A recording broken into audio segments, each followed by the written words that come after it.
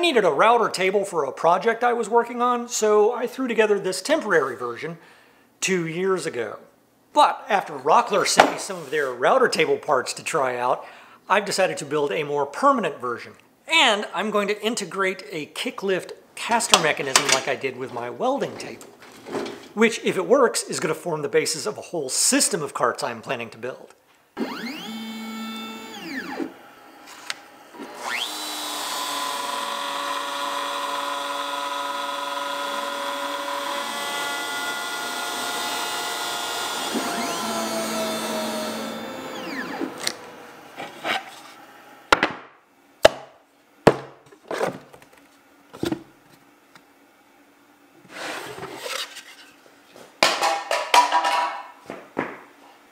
Almost broke it.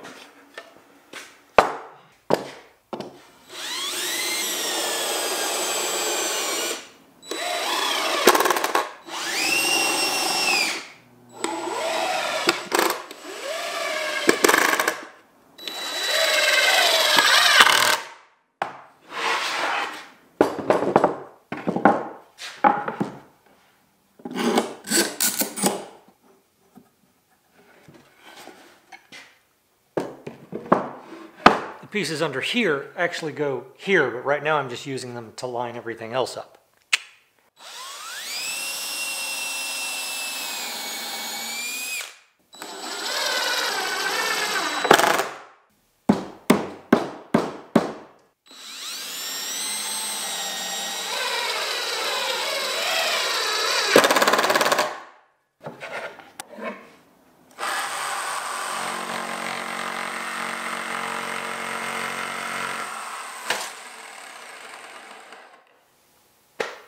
Quitter.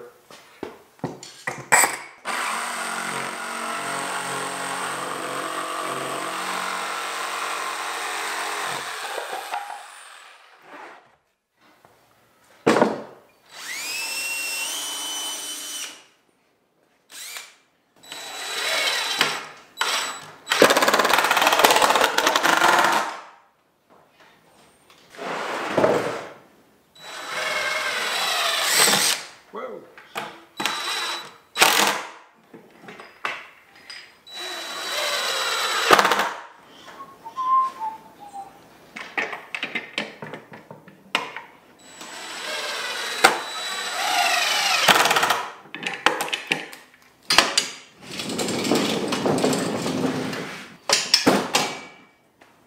That's what this is going to do.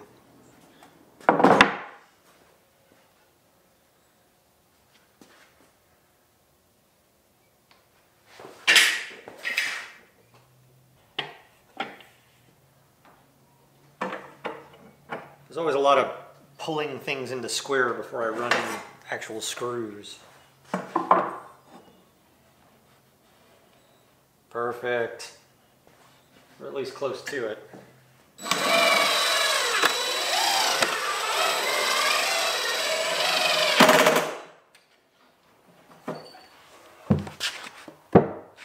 I initially just rough cut this opening in the back here because, well, it's just easier to come back and do this you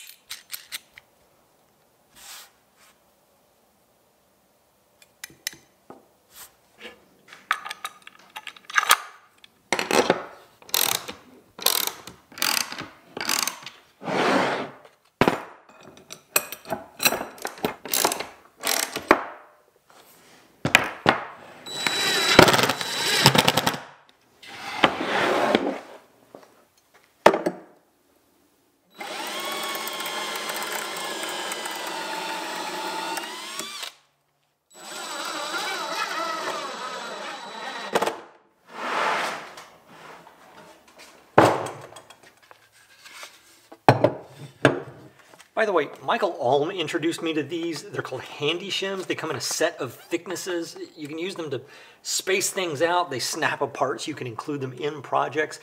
Do yourself a favor and follow the link down in the description and buy yourself a box of these right now. I use these constantly.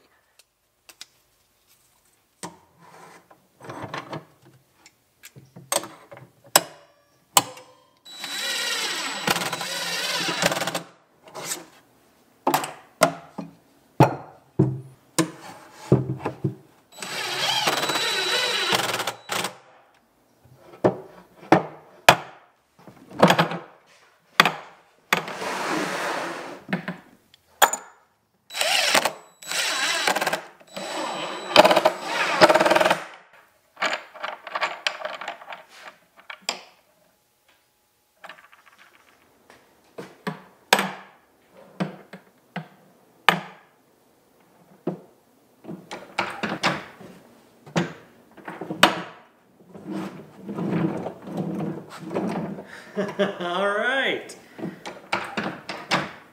Now, you may notice a small difference down here. I had to make a change off camera. The plywood that I was using, it worked mostly fine, except when the casters were oriented in a certain direction. It created just enough leverage to cause the plywood to twist at this end, causing this corner to drop, making it a little unstable. So I have replaced them with some thick-walled rectangular aluminum tubing, and now they work great.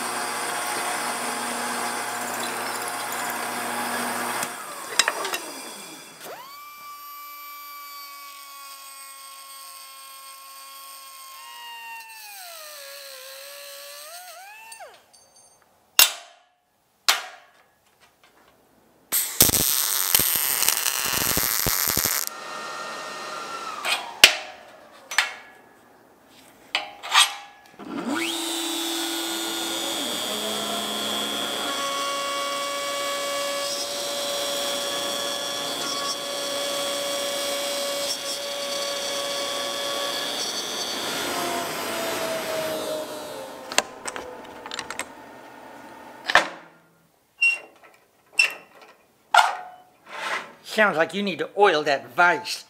Respect your tools, post.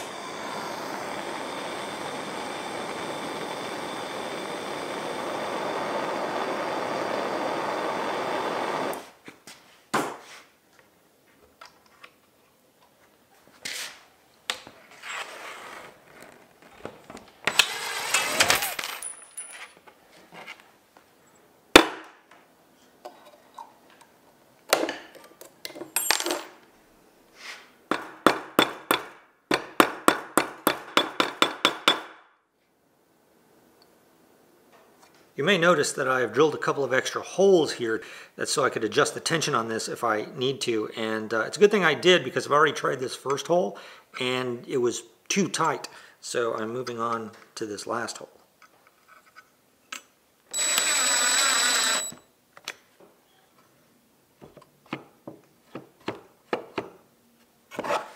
By the way, as several people pointed out in reference to the same mechanism on my welding table, you could do this with a, a counterweight back here.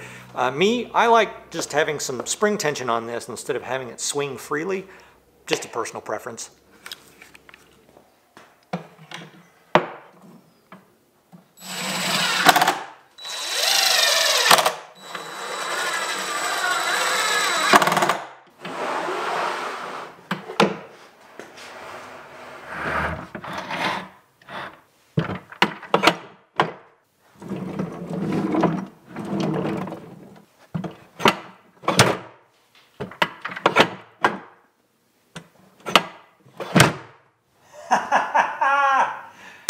Finish this thing up.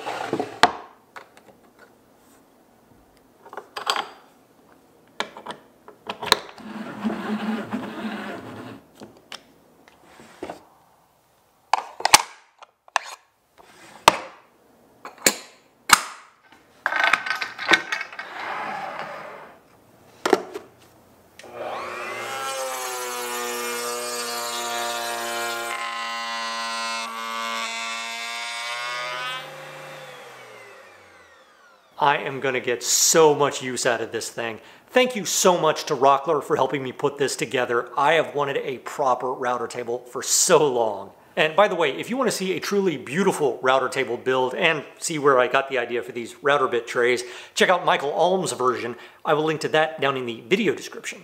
All that's left to do on mine is to add a nice clear coat and of course some handles, which I'll be making on my new router table although that's going to have to wait because I'm about to leave for WorkbenchCon 2020 in Atlanta this weekend. If you're going to be there and you happen to see me, come up and say hi.